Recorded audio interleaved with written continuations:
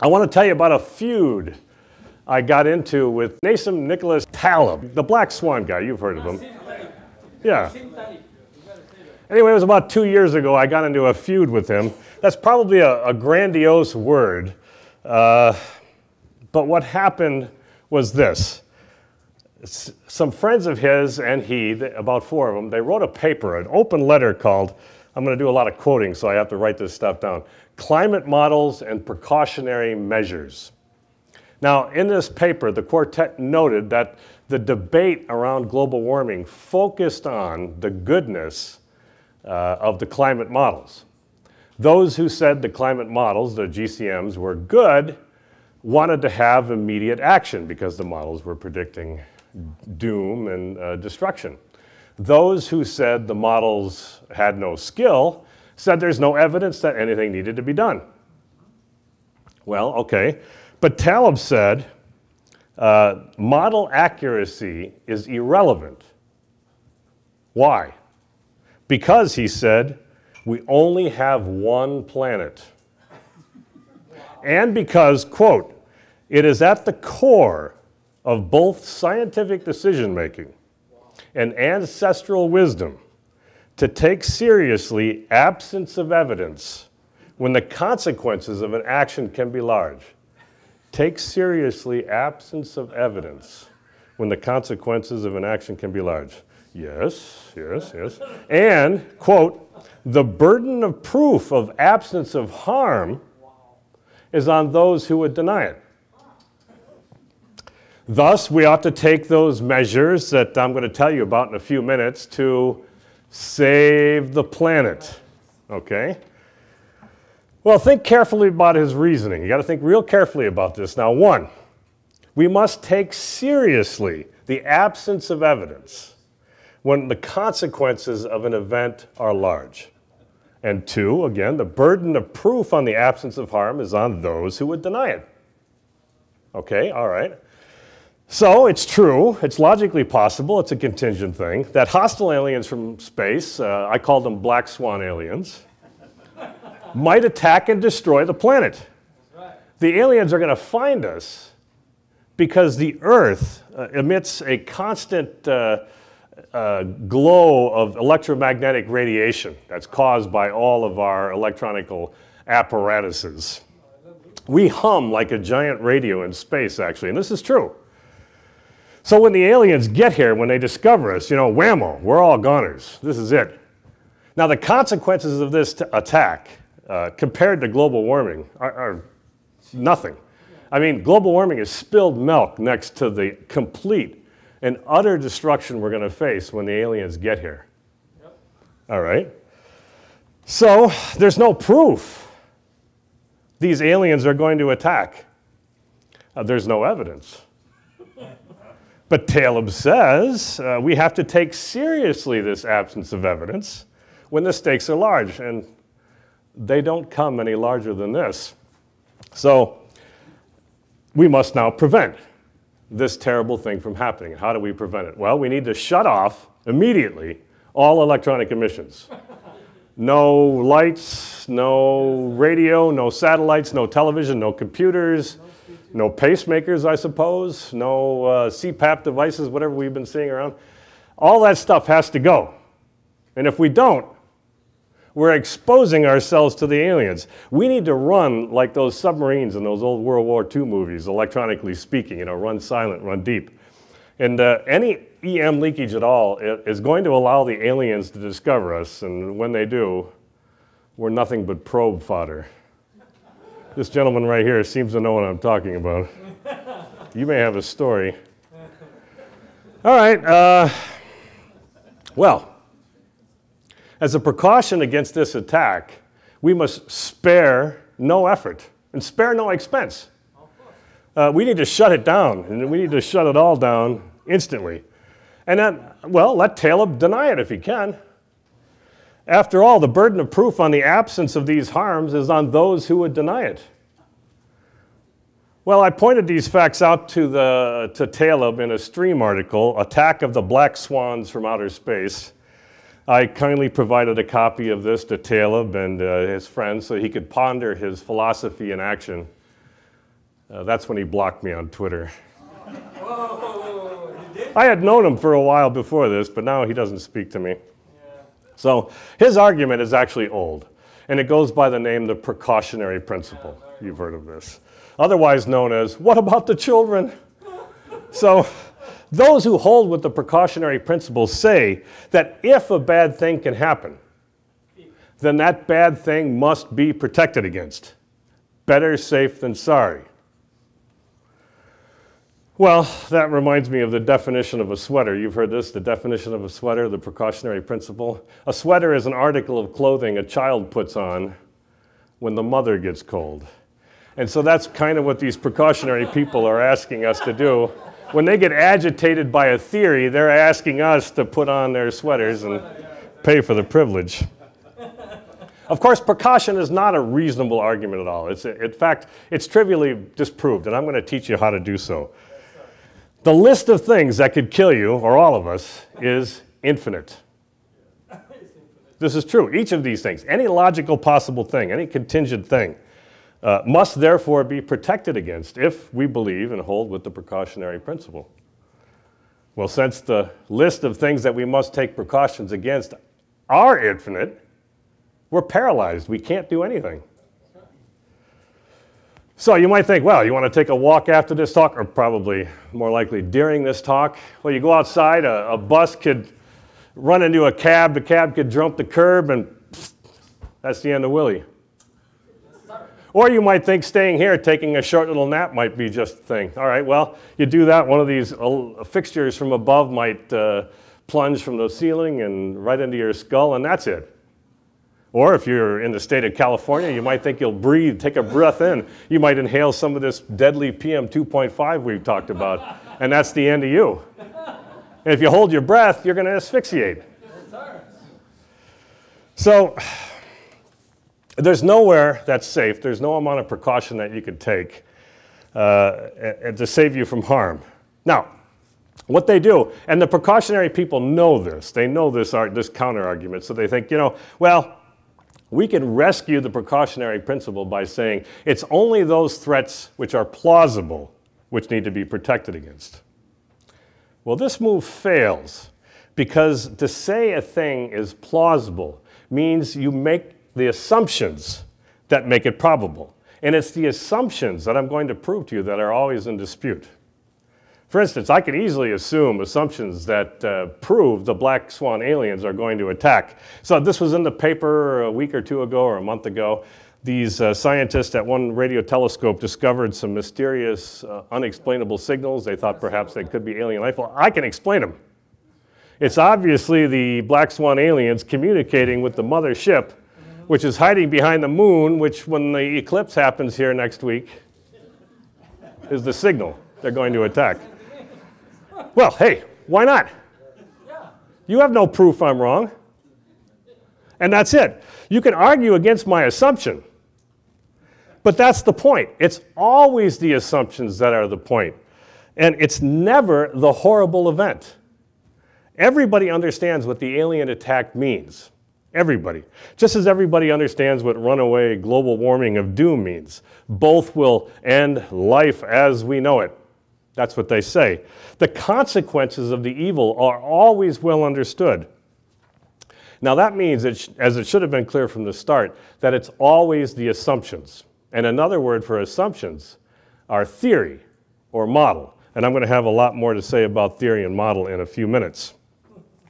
So, what people like Taleb and other precautionary principle supporters are trying to do is cheating.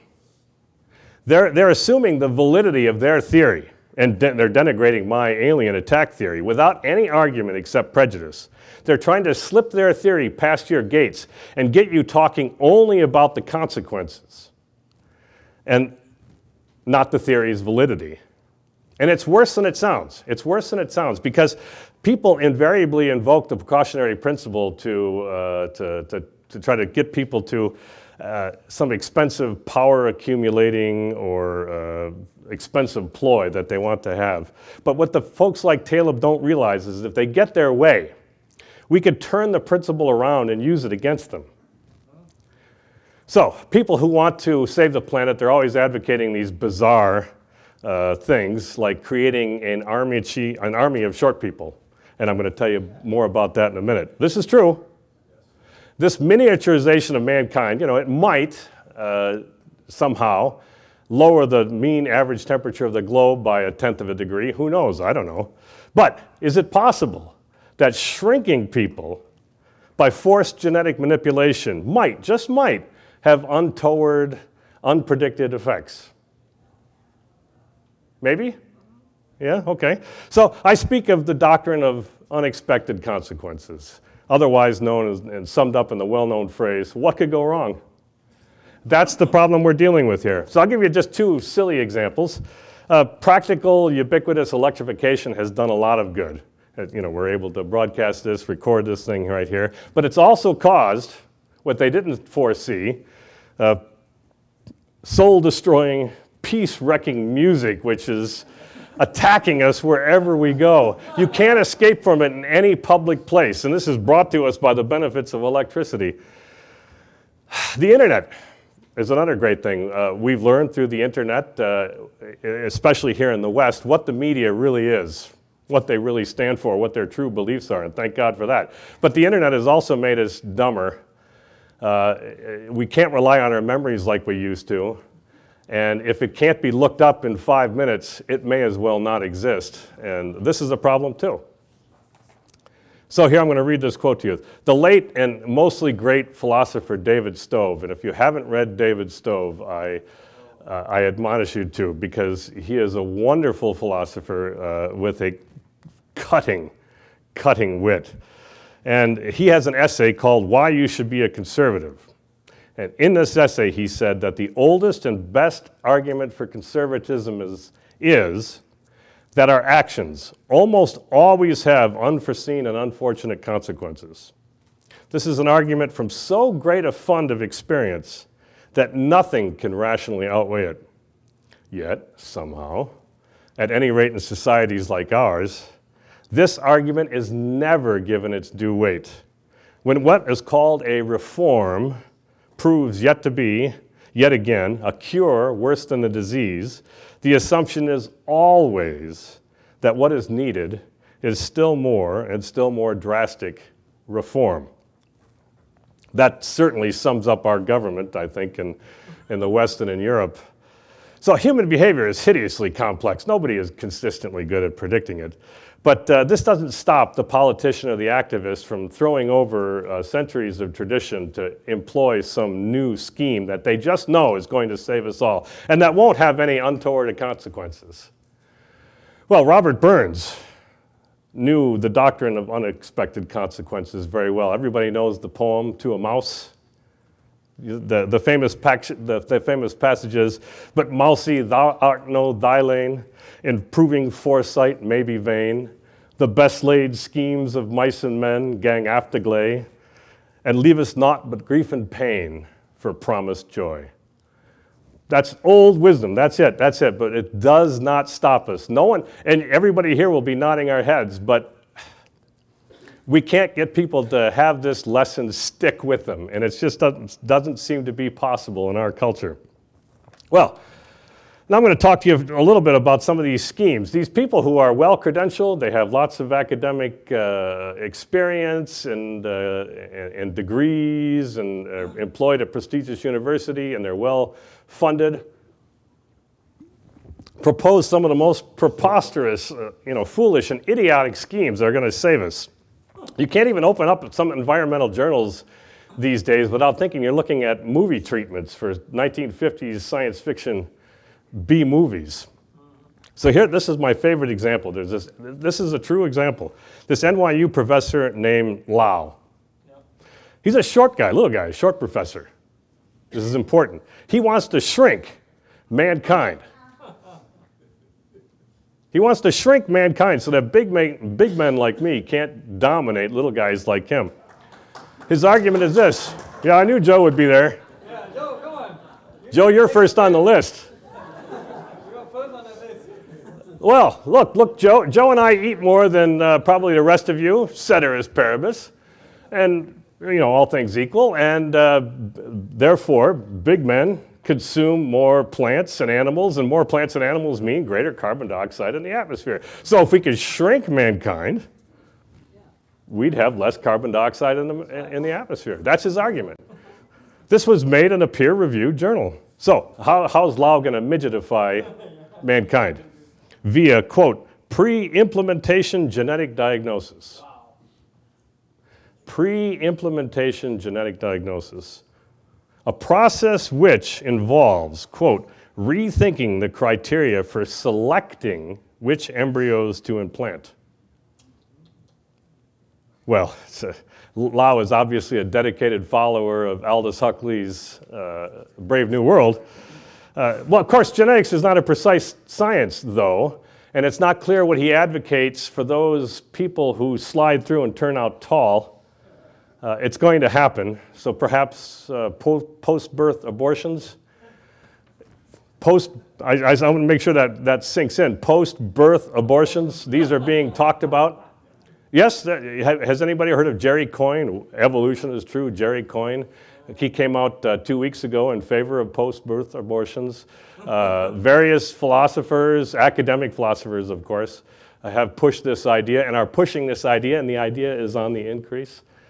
People whose lives are not worthy of living in this utilitarian fashion, they want to ice at the beginning and at the end of life. This explains, incidentally, the cult of health that we see around us. Everybody needs to be at this peak fitness of uh, peak optimum of health, whatever they're defining health to be. And anybody who doesn't make that cut, out they go. So that's a really draconian and strict, you know, it does follow from utilitarian theory, but that's the direction we're going. Ah, well, Liao intimates that only dumb people have many kids. So, how do we solve that? Quote, cognitive enhancement. This will lower birth rates. He says, quote, many environmental problems seem to be exacerbated by, or perhaps even in result from, a lack of appreciation of the value of other life forms and nature itself. Solution? shoot people up with the, quote, pro-social hormone oxytocin. Am I saying that properly, doctors? You guys tell me. Is that right? Oxytocin. Oxytocin, my apologies. Or the noradrenaline reuptake inhibitor. Or, Joe, this is you, he wants to, uh, we could see this one coming from a mile off, although Liao could probably only see it coming from a couple of hundred yards. He wants to reduce testosterone in men. He has it in for us. He has it in for big men. Now, can you imagine the lines outside the government health clinics for your mandatory shots? Does this seem intrusive to you? Because not so, says our little friend. He says, human engineering could be liberty enhancing. Liberty enhancing. Yes, sir, because he says, quote, if we're able to scale the size of human beings, then given the same fixed allocation of greenhouse gas emissions, some families may be able to have more than two children. It's very generous, isn't it, of the government? Well, Liao and his academic colleagues also suggest poisoning the food supply. Well, not so much poisoning the food supply, but poisoning you. They want to wear, have people wear uh, meat patches, somewhat akin to the nicotine patches that some people wear, that would induce mild intolerance by causing the immune system to react against meat proteins. He says, quote, henceforth, eating eco-unfriendly food would induce unpleasant experiences. Even if the effects do not last a lifetime, the learning effect is likely to persist for a long time. You bet it will. Well, that's Liao. Let me read you something here written by uh, one Julia Pongratz of the Carnegie's Institution Department of Global Ecology. Genghis Khan and his Mongol hordes had an impact on the global carbon cycle as big as today's annual demand for gasoline. The Black Death, on the other hand, came and went too quickly for it to cause much of a blip in the global carbon budget. Now, both the Mongol Horde and the Black Death lasted about a century, And the Black Death killed about twice as many people as did the Mongol uh, horde under Genghis Khan, but it didn't kill with the same efficiency as the Mongols. The plague would wander into some area, and you know, depending on its mood, it would kill a few here and kill a few there, but it largely left a lot of survivors behind, and those survivors continued to emit carbon dioxide. Now, contrast that with the Mongols. They would ride into a town and ask the population if it wanted to surrender so that they could be killed in an orderly and straightforward manner. Or if the town was recalcitrant, uh, they would be besieged and uh, killed in a somewhat more rambunctious manner. The good thing about this, a good thing about this slaughter, according to Pongratz, was that when the horde pushed on towards their next set of victims, they left only silence behind. Silence and freshly fertilized ground, covered in tree seeds seeds which were able to grow into forests, which sucked CO2 out of the air, thus cooling the planet. Someone said of Pongratz's discovery, quote, Genghis Khan's bloody conquest scrubbed 700 million tons of carbon from the atmosphere as the depopulated land returned to forests. Doesn't that sound nice? Now, again, the Mongols only killed about half as many as the Black Death, but by removing these folks contiguously, unlike the hit and miss approach of the plague, Quote, there was enough time for the forest to regrow and absorb significant amounts of carbon. Well, Pongratz says, quote, based on the knowledge we have gained from the past, based on the knowledge we have gained, we are now in a position to make land use decisions. You are all have become land use decisions that will diminish our impact on climate and the carbon cycle. We obviously now know we can't rely on disease to do the work for us. So what do we need? Well, Pongratz did not tell us how she plans to resurrect Genghis Khan, but uh, certainly that might be in the works. Well, look, besides killing people off or preventing their birth or poisoning them or doing something else, scientists have come up with a, a, blizzard of different ways that are going to solve our problems. They want to dump uh, stunning, massive amounts of fertilizer into the ocean to stimulate plankton growth, and that's going to somehow cool off the planet. Or they want to dump massive, stunning amounts of sparkly stuff into the stratosphere, and that's going to solve our problems. And the list is endless, or as endless as the grant money is going to make it. Uh, but these folks never pause to consider that they don't know what they're talking about. They do not ever understand of the existence of the doctrine of unexpected consequences. And they always base all of these things, all of these uh, measures, on the idea that their theories are true. So we need to understand why they rely so heavily on theory. What is theory exactly? Can we, can we attack this problem, them, these lunatics, uh, through a better understanding of what they think theory is. Okay, I often say the root of all scientific evil is the love of theory, and this is so. So we have to understand theory. What is then? I'm talking philosophically now. What is a scientific theory? It's very simple. It's only a list of premises, that's it, which contain propositions, assumptions, uh, observations, and the like, from which we deduce statements about the observable universe. That's it. That's all any scientific theory is.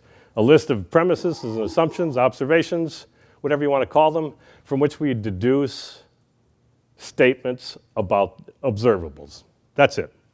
Here's a very simple theory, just to give you an example. Days following hot days are usually hot. Days following hot days are usually hot.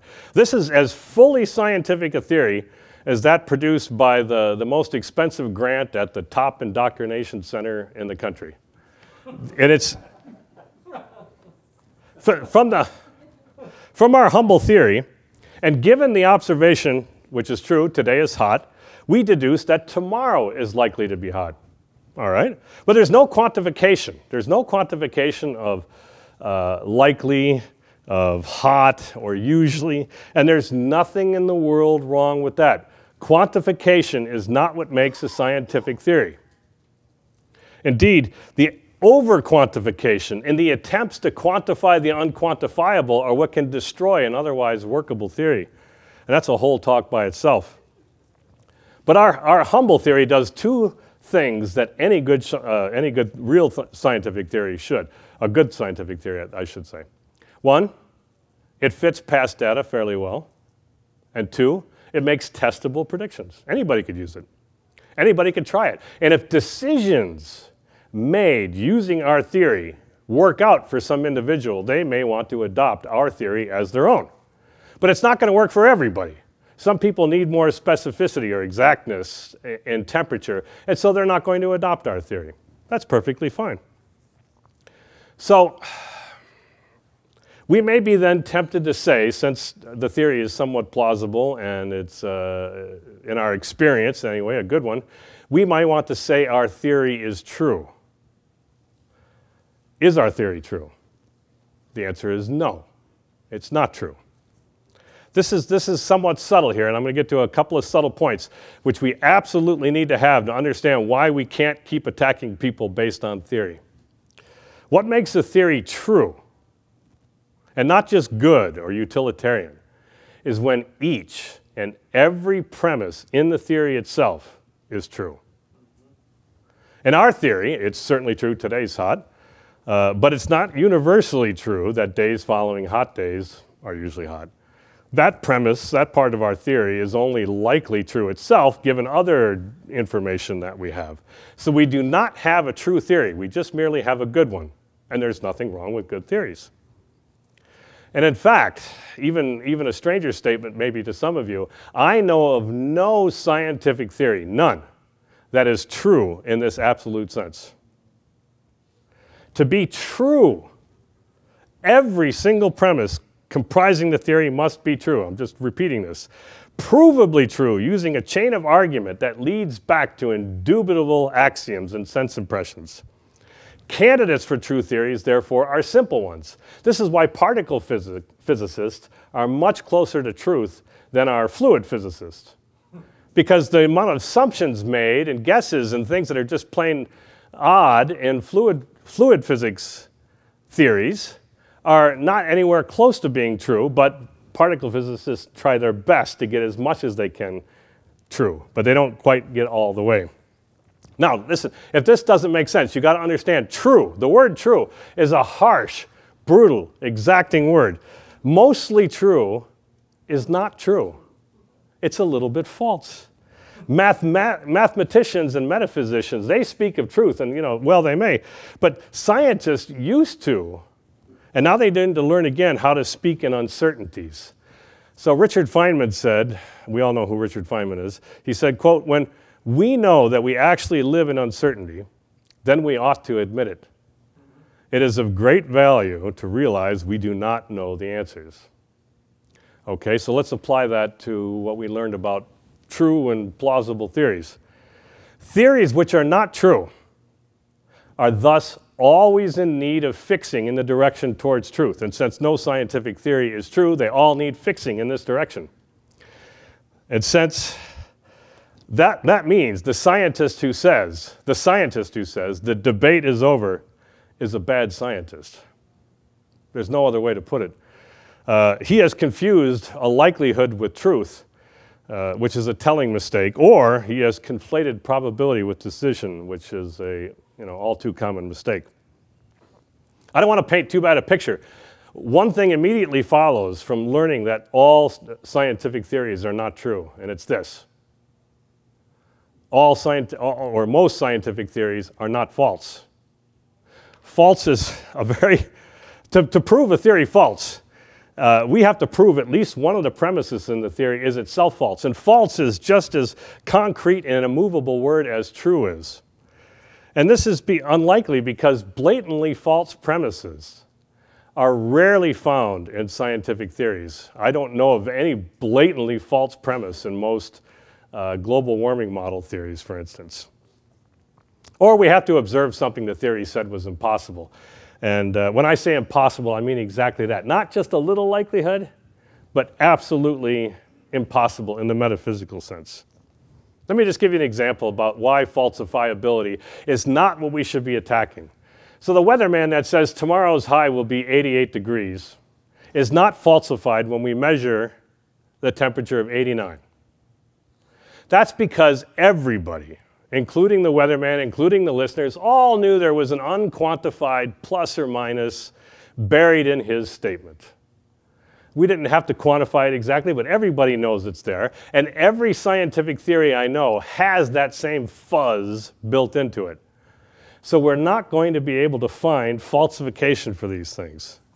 True falsification in a theory is as rare as a bureaucracy closing because they said they have completed their mission.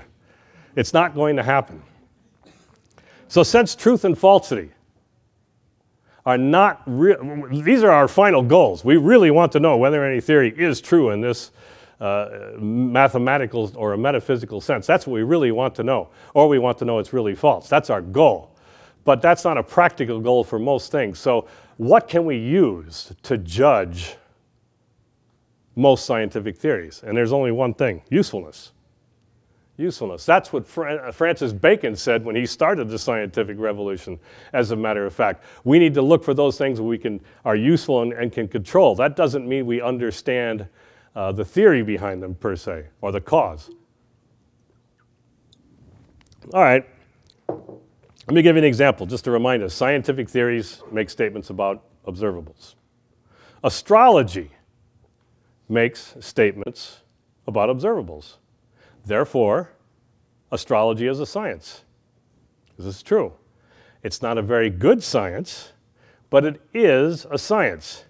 David Berlinski, uh, another author, I don't know if you've read before, another author I highly recommend. He makes this point in the book, The Secrets of the Vaulted Sky Astrology and the Art of Prediction.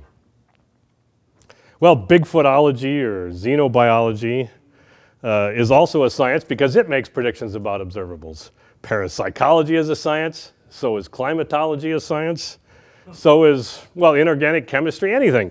Homeopathy, any, any theory that makes predictions about observables is a science. Some are good, some are bad. Why do we say astrology is bad and some of these others good? Why do we say that?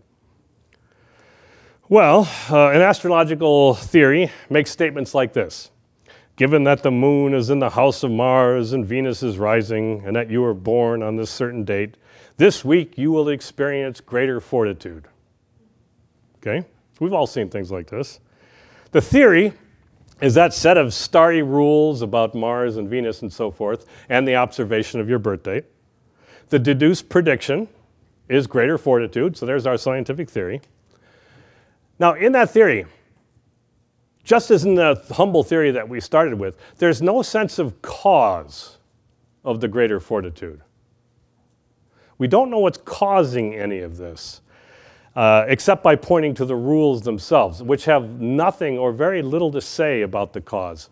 Maybe something like uh, Mars is uh, the god of war, and in war you need greater fortitude. But that's very, very flimsy. And in fact, scientific theories do not have to say anything about cause, although that's the final goal of any theory. Every citizen before Newton knew to duck when throwing a rock up in the air.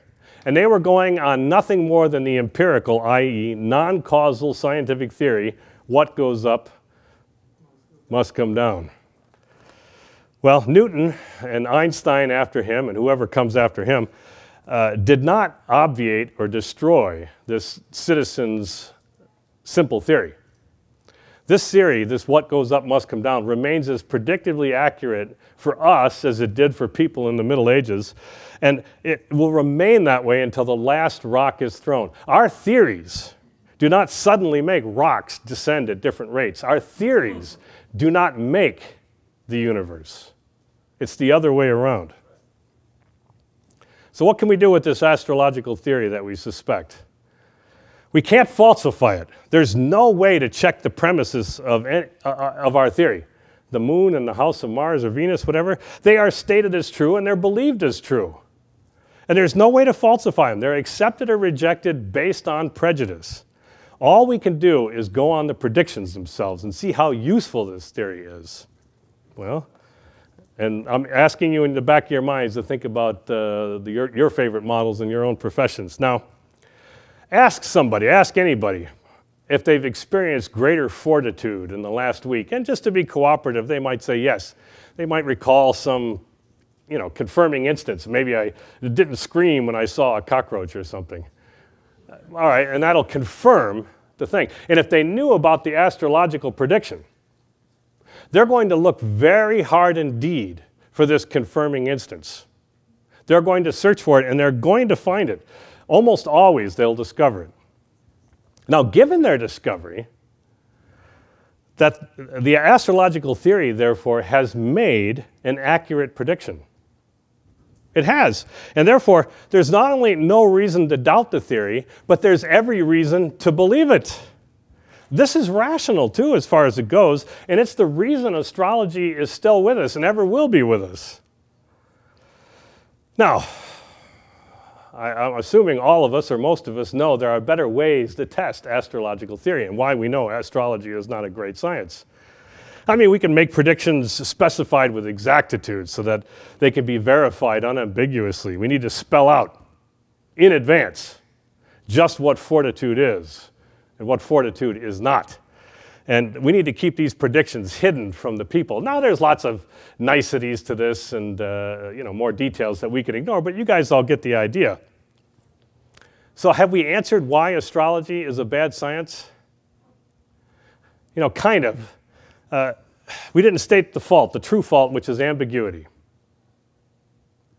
This is the telling part. It's not just astrology, this is all the environmental models too. It's ambiguity. It's the ambiguity of the predictions which maddens. A skeptic is going to hear the forecast of greater fortitude and find just as many instances of its lack as the believer is going to find instances of its presence.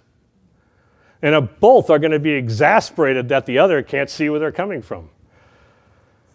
This is why dissuading the astrology believer is a Herculean task. Uh, to do it, we have to endeavor on a complete, thorough disquisition on the nature of evidence.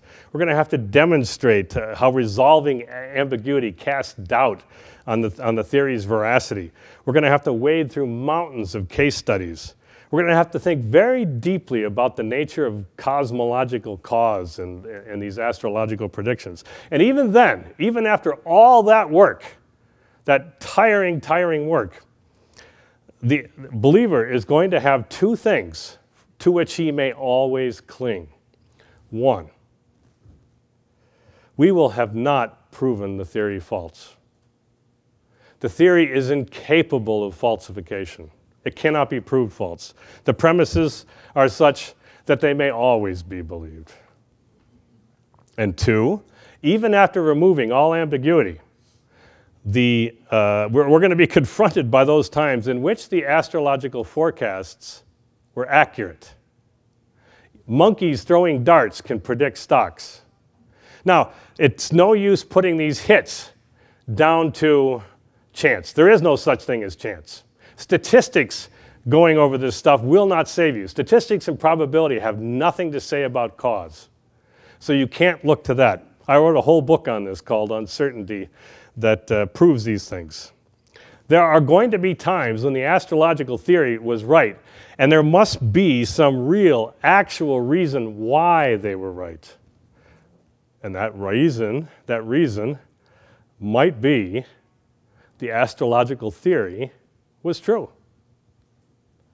You cannot prove. And prove is another one of these adamantine words that it wasn't. This is the kicker, and this is a point that Dick Lindzen is always making too. The only real hope you have of converting the believer is to change his metaphysical perspective. He believes astrology because he believes it is possible for the stars or the universe or whatever to cause changes in his behavior and demeanor. That's something he wants to believe. To dissuade him from this means replacing that, medical physical, that metaphysical position with another. You can't leave a hole, it has to be filled. And you could try the, the sort of rank and ultimately unsatisfactory materialism of the scientist. That's not going to answer the questions he wants. Or perhaps you could try the living religion of a theist. Everybody knows how difficult a task it is to get somebody to change their religion. Sometimes it takes a miracle. Well, what holds for theories of environment, uh, for astrology holds for theories of environmental doom? I think most people know Tony Heller in his blog, uh, Real Climate Scientist. He documents these uh, failed predictions of doomsayers. In 1992, the warning was uh, for an ever widening ozone hole. Everybody remember that? Yep. I quote, alarming threat, which, quote, caused the degradation of the conditions necessary to sustain life on the planet. One scientist rang the familiar cry it's far worse than we thought. Uh, then came the hard data showing the size of the hole. Had been pretty much unchanged since 1990. Sometimes it's a little bigger, sometimes it's a little smaller. And it must have been awfully disappointing to those people who believed to see this data. Well, everybody also knows Paul Ehrlich. Paul Ehrlich in 1970 said, quote, the death rate will increase until at least 100 to 200 million people per year will be starving to death during the next 10 years. This did not happen. Well, something like the opposite of it did, of course. Agricultural production has been rising ever since. But was Ehrlich's theory falsified? You may be tempted to say yes, but no, it was not.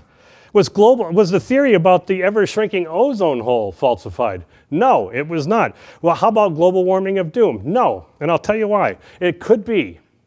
And Ehrlich makes this very claim, he makes it to this day, that we have not yet reached the doom of which he spoke. We all knew there was fuzz surrounding his dates. Everybody knew that. And therefore, we have not yet got there. We're just a little bit wider on the fuzz than we first thought. Mass starvation is a live possibility. The ozone might flee forever. The globe could burn up. All of it might still happen. Just as we might ex experience greater fortitude when the astrological prediction horoscope says so. So, how do we convince believers, though, that these are all bad theories? Well, we're back to the same problem. We could, we could and we should and we must uh, lead these believers through lectures on the nature of evidence, as we saw this morning, on what ambiguity means and how to resolve it in relation to their uh, forecast, as we did with the astrologer. We should tell scientists uh, who believe in environmental doom that their models have no skill and what that means. We could show them that other theories make superior predictions. But like with the astrologer, we'll never be able to falsify their theories. And there will always be times and places, just as with the astrology, localizations where their theories score small hits.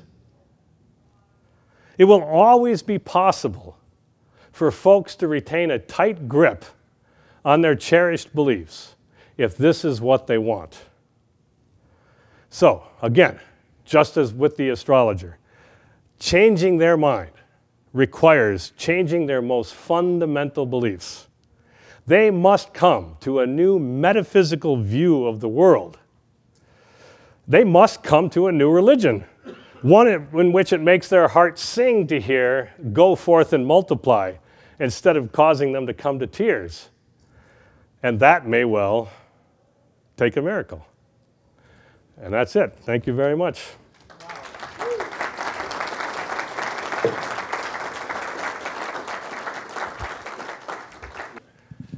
So it gets kind of scary now.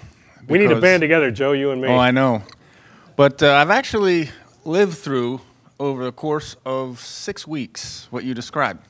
I was sent to what I called advanced charm school, which was six weeks at Wharton on how to run a, a global business. So we were divided up into teams, and each of us was given a problem to work. And guess what our problem was? the role of managing CO2 for a large energy producer on a global basis facing climate change. So I was the only American in our group of six. They were all European managers from elsewhere in the globe. And, you know, I said, oh, wait a minute. you know, we're taught to think broadly and then we funnel down. So we're writing all the statements, and I said, what about if this whole entire thing is not valid? What? Whole entire thing about the relationship between CO2 and global warming is not valid. Ah, excellent. Um, you would have think I had just in, in the middle of I was raised Roman Catholic, so in catechism school I would have said this whole God thing is a bunch of hooey. That was the reaction. It was profound, but they entertained us, and fortunately we had with us a representative from Penn, and she said, "Oh, you know Dr. Bob Giegengack. I don't know if you guys have ever heard of him." Look him up. He's excellent. She goes, Our world's most famous paleoclimatologist on the staff here at Penn. Would you guys like to have lunch with him? I said, Sure. Great. So two days later, we're having lunch with Bob, and he opens up with Who has seen Al Gore's movie, An Inconvenient Truth? Most of us raise our hands, and he goes, Oh, amazing piece, amazing piece. And I'm like going, Oh, God. And he goes, Amazing piece if you want to find a vehicle to make yourself relevant again. Other than that, total baloney and, and he walked through the Milankovitch cycles. He walked through everything, and it was I was I was just thrilled to sit there and, and watch Dr. Bob go over all this. Long story short, I then asked him the question. I says, "All right." Long story short, I then asked him the question: What if you are right, and my hope is right, and this is not something we as a company need to deal with? What's the probability of that? Oh, he was instant in his response. Absolute zero. Absolute zero. He says, when I go over this with my students, I have them literally breaking down in class because I am going against the cause. You are fighting religion, and you're going to have to deal with it one way or the other, and don't let facts get in the way. That's your challenge. And that, I think, sums up Let, what. let me, uh, Joe's point's excellent. Here's something you can always do. This, this is always telling. If you find somebody, you're in a debate with somebody, uh, and they're a true believer on these environmental doom, theories of environmental doom, ask them this. A good scientist would be able to answer it. What would make you change your mind? What exact evidence? I'm not saying the evidence exists or can exist or would, but what would make you change your mind? Would removing this part of the theory change your mind? Would removing this part of the theory? Would anything change your mind? And if they can't answer that, and most can't, they'll change the subject or run away, you know you're dealing with a true believer. It is just fundamentally true. And that is also uh, a logical response, if you like it. It's a rational response. Because if you really are dealing with truth, capital T truth, and you got a piece of real truth, then nothing can make you change your mind about that truth. But unfortunately, with scientific theories, we're always talking about the contingent. And so there's always that wiggle room. There should be.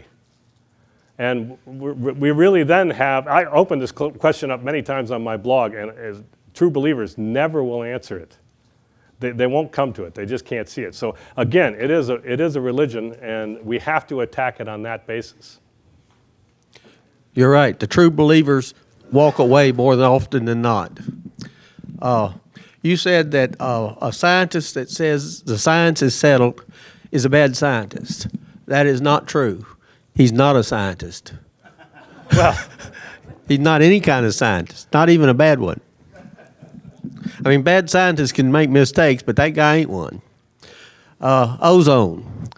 The ozone scam was brought out by the companies that had the patent on R12. The patent had run out. It was selling for almost nothing, and they had to get it off the market. So they hey, they promoted that hoax to get R12 off the market so they could come out with their new product that had a patent. That's my theory. sounds plausible to me. What's your take and synopsis form of uh, the Black Swan book itself? By Uh, well, there's lots of things I disagree with Taleb about probability. yes. Anything good? My, my, my views are superior and correct, of course, and his are I- inferior we and wrong. acknowledge that. Huh? Yes. Yes, you read my book and find out. Thank you.